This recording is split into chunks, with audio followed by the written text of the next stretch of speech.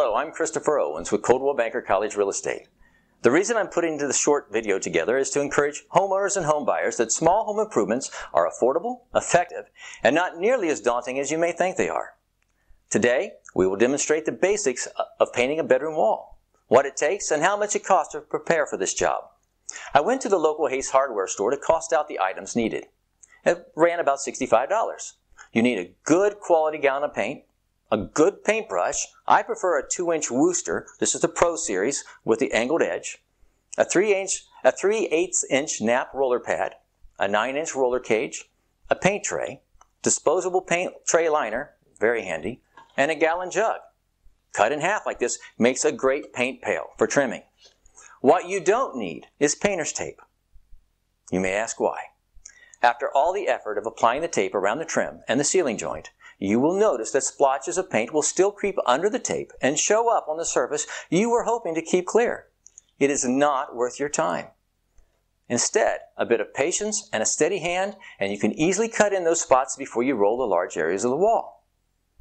Let me show you a few tricks of the trade I learned from professional painters back when I was a general contractor working on homes for a living. We will talk about the amount of paint to put on the brush, the application of the paint onto the wall, and the corner lines and the trim. Let's get started. It doesn't take much, just enough to keep the paintbrush wet.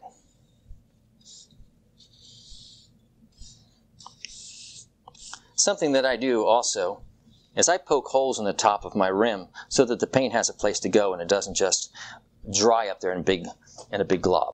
How much paint do you need on the brush to cut in a corner or trim? Enough to make it good and wet, and then rub off the edges. Because you still need what's inside the brush to apply onto the wall nice and thick. All right, I'm going to start where I made a patch on this wall and put the primer on already so you can see how I cut in the paint from the colored wall to the white ceiling. And it also doesn't hurt to have a nice wet rag around handy just in case you, you get a little bit too far you can always clean it off real fast. With enough paint on your brush, you start underneath the, the ceiling joint, about a half an inch, pressing your brush up forward, and then slowly bringing the brush with the, the paint to the corner joint, letting it glide on smoothly. Once you run out of paint and your brush starts getting dry, and come back with what you have, and paint down far enough that when you roll, you have enough room that the roller can match this paint but not hit your ceiling. We'll do a little bit more here. Come back here and hit this area. Paint your walls first, especially if your walls and ceilings are different color. Because if you do get a little on the ceiling and you plan on painting your ceiling as well, it's easier then to clean up a little bit of blotch here and there with the ceiling than it is with the wall paint. Because normally, wall paint is much darker than ceiling paint. So it's easier to go back with the white later.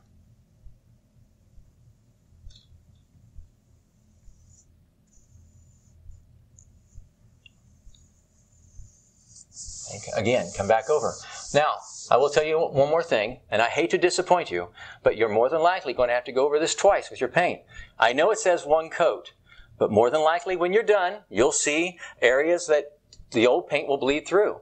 So what I do is I will trim in a whole room, cut it in, and then I'll come back and do it again. Then when I roll, which I can do almost immediately because paint dries so quickly, latex does, that I can roll twice very quickly and the room is done.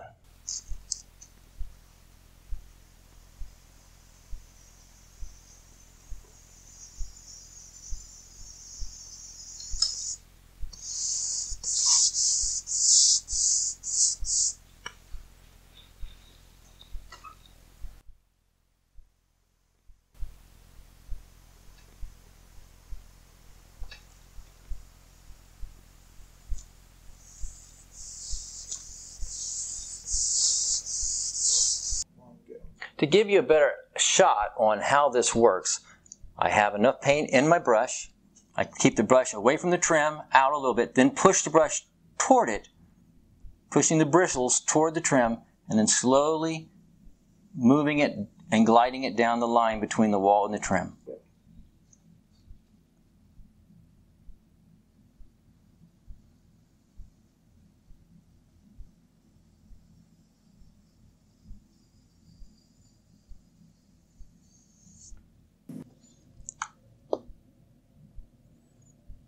You don't need to fill your pan up all the way.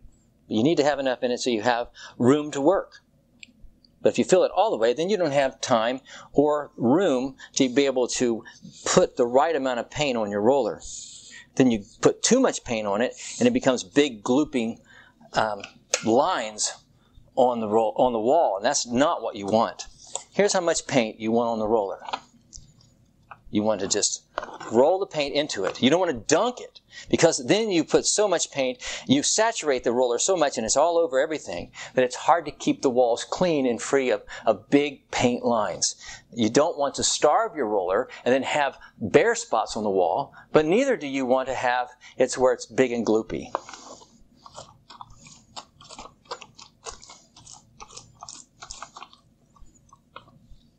That'll be a good start. Okay, now we're going to roll the large field of the wall.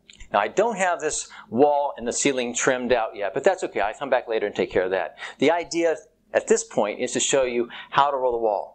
There are probably a hundred different videos out there telling you how to paint a room. It's not that hard, and I'm not going to probably add any more than you've already learned. You could put it on in M's and S's and ups and downs and sideways. It really doesn't matter how you put your paint on.